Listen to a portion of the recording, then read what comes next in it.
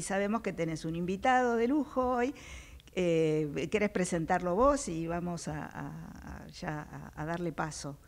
Sí, en el marco de las eh, jornadas de conferencia del agua que está organizando, la primera conferencia del agua de la ciudad de Buenos Aires, el Ministerio de Infraestructura eh, para el 7 y 8 de noviembre está organizando estas jornadas en sí y qué mejor que tener al propio ministro de Infraestructura de la ciudad de Buenos Aires, a Pablo Pérez Artúa, que eh, nos pueda contar de qué van a tratar estas jornadas y, todo lo que quiera respecto de la difusión tan necesaria que puede ser eh, la que podamos llegar a aportar desde este lado.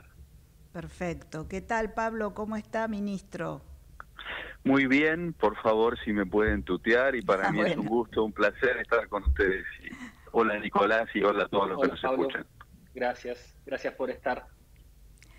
Bueno, eh, Nicolás, si vos querés eh, liderar un poquito la, entrevista porque sos el que tiene más conocimiento del tema, pero bueno, en primer lugar le vamos a preguntar eh, al ministro exactamente de qué se trata y quiénes pueden participar en esta conferencia del agua. Bueno, primero, como dije, les agradezco muchísimo. La Ciudad de Buenos Aires organiza la primera semana del agua de la Ciudad de Buenos Aires. Eh, semana del Agua porque es un formato que se viene estableciendo en el mundo. La ciudad que lideró esto fue Estocolmo, la capital de Suecia, que lo hace ya hace unos 30 años y lo hace también en el marco de darle la máxima relevancia a la agencia, a la agenda del agua, que es una agenda local y también es una agenda global. Eh, para darles una idea, en el caso de la Semana del Agua de Estocolmo, se entrega un premio que es el, lo que llaman el Water Prize de Estocolmo, el premio del agua, que es equivalente a un premio Nobel. Lo hacen con la misma ceremonia que un premio Nobel. Nosotros en la ciudad de Buenos Aires hemos tomado ese formato, como lo han hecho ahora otras ciudades en el mundo, por ejemplo Singapur o, o Seúl, y estamos haciendo la primera ahora en noviembre, va a suceder la semana del 4 al 8 de noviembre en los próximos días y lo hacemos de manera gratuita, así que esto que estamos hablando está abierto a todos los que quieran participar, inscribiéndose. Hay una página dedicada a esto, en, si entran a la página del Gobierno de la Ciudad de Buenos Aires, y muy sucintamente les comento que eh, van a suceder cuatro cosas principales y algunas otras más, pero cuatro principales. Va a haber un hackathon para que compitan equipos eh, creativos con usar tecnologías y y intentar definir algunos de los desafíos que hay vinculados con el agua. Va a haber un parlamento joven donde estamos invitando a jóvenes eh, de las escuelas a un debate organizado como los debates que se hacen en los parlamentos sobre cuáles serían las políticas públicas que hacen falta para mejorar la agenda del agua, los temas vinculados con el agua. Va a haber una reunión de C40. C40 es el conjunto de ciudades más eh, importantes eh, y grandes del mundo. Buenos Aires es parte de C40.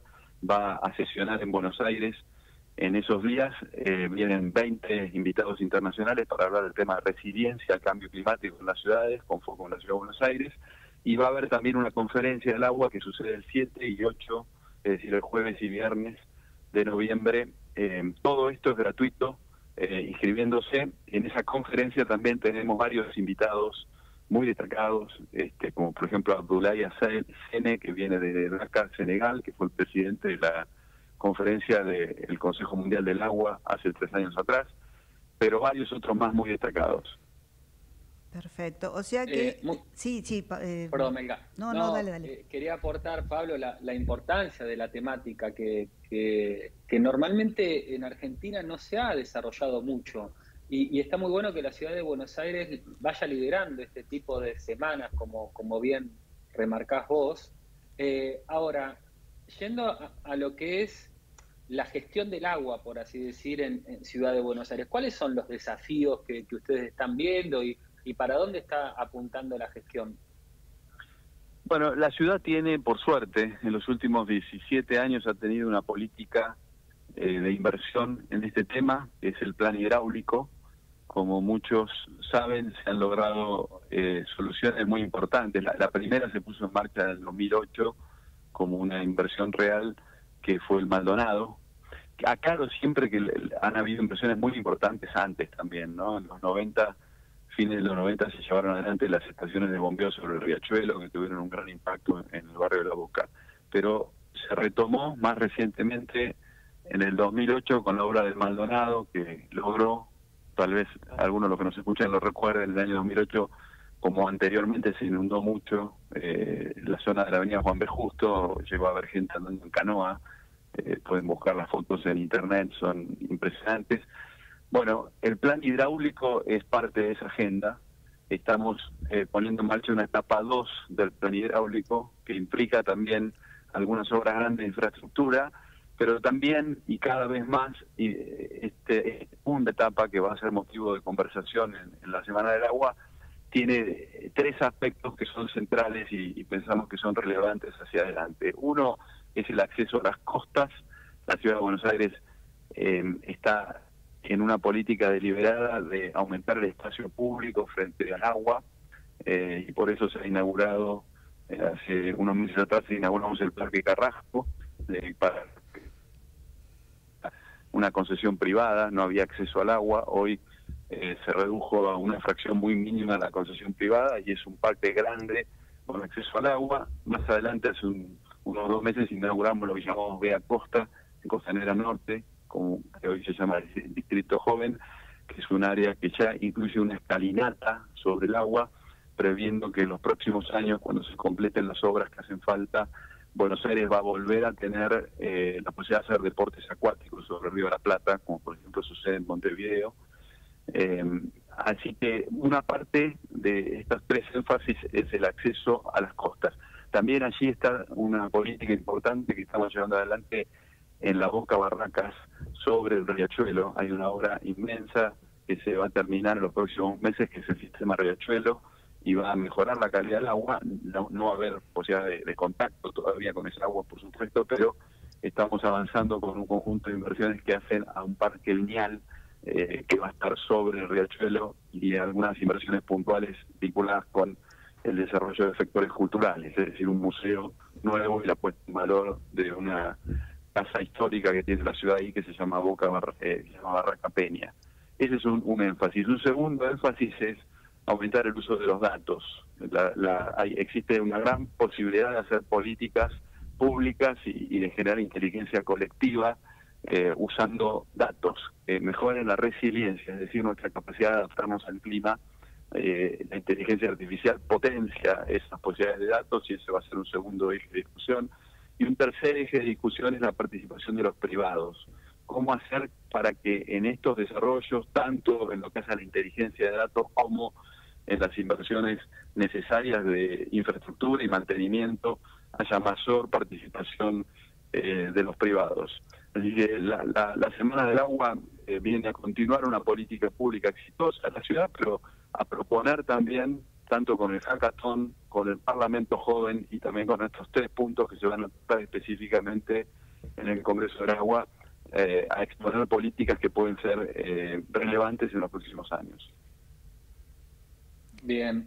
Eh, eh, la verdad que es súper entusiasmante poder mm. participar y cómo lo vas planteando, Pablo, la, temática. Yo quería hacerte también dos preguntitas más de, contexto, más allá de, tu función actual eh, como ministro de Infraestructura de la ciudad. Quería comentarte cuál es tu opinión respecto de la decisión que se ha tomado con ENOSA a nivel nacional y, dicho sea de paso también, lo que fue la decisión de la Corte Suprema de Justicia de la semana pasada de dar por finalizado el fallo Mendoza. A ver si, si podrías hacernos algún comentario respecto de estas dos situaciones.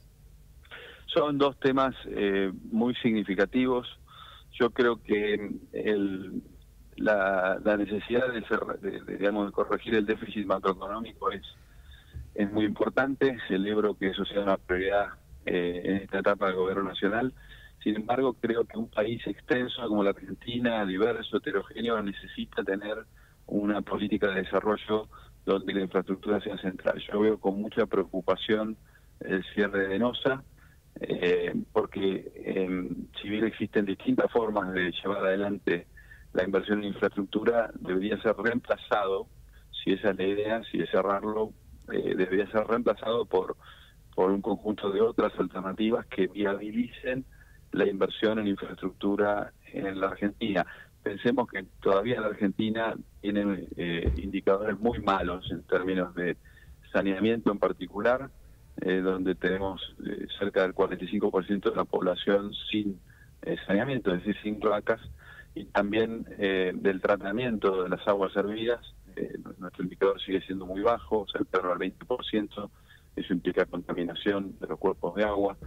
Creo que el efectivamente puede ser muy criticado, sobre todo por cómo fue administrado desde los gobiernos nacionales eh, durante este siglo y creo que hubo muchos casos muy polémicos y otros de corrupción que a mí me tocó denunciarlos en su momento eh, y fueron denunciados, por ejemplo, el acueducto del lago Munster a Comodoro Rivadavia fue una denuncia que hicimos nosotros, la planta de desalinización de Caleta Olivia, obras que implicaron lamentablemente hechos de corrupción eh, absolutamente inadmisibles.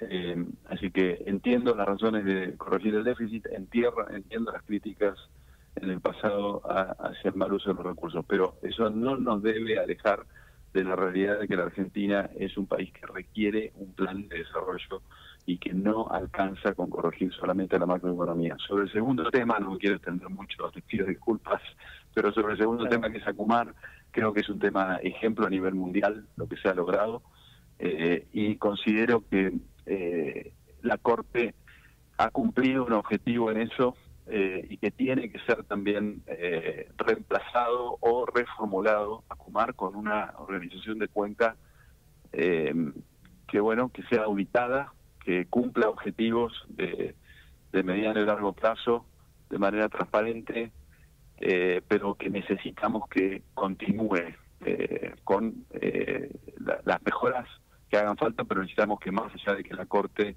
desafecte esto o lo dé por cumplido en términos del objetivo que se había planteado la Corte, todavía quedan enormes desafíos en la cuenca donde viven más de 5 millones de personas, muchísimas de ellas en condición de necesidades básicas insatisfechas y pobreza estructural, eh, eh, solucionar eh, el agua y la cuenca en términos de mejorar y lograr mejorar la calidad de vida de, muchos argentinos en esa cuenca es central y hace falta un organismo de cuenca como, como está aprobado en, muchos lugares del mundo que sea eficiente, que administre recursos y que sea auditable y transparente en lograr esos objetivos. Bueno, esperemos entonces que esta, esta medida no, no afecte la existencia de Acumar y también hay un, como un deseo de la gente que siempre lo manifiesta, que es volver a navegar el riachuelo, ¿no? Dentro de nuestro plan Boca Barracas hemos planteado eh, intervenciones que van desde Vuelta de Rocha, para los que nos escuchan, hasta el puente de Porredón, porque el agua va a mejorar con el obra del sistema de riachuelo y nuestro objetivo, por supuesto que lo vamos a, tratar junto con el gobierno nacional, es habilitar la navegación, eh, de aquí al 2027 habilitar la navegación hasta Puente Pueyrredón. Perfecto. Bueno, le agradecemos mucho entonces, ministro, y bueno, Pablo, a vos también, eh, Pablo, perdón, Nico, eh, a vos también. Eh, por habernos traído este invitado. recordamos entonces que quienes quieran anotarse, que esto es gratuito. Eh, eso mismo. Lo más importante, están todos invitados a la Semana del Agua.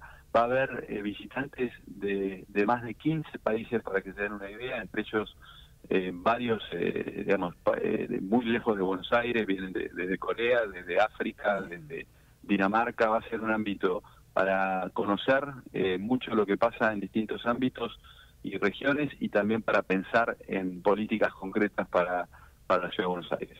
Ahí está, entonces entran simplemente a la página del gobierno de la Ciudad de Buenos Aires y allí se pueden inscribir en forma libre y gratuita. Muchas gracias. Muchas gracias. Muchas gracias a ustedes. Muy buenas tardes. Saludos. buenas tardes.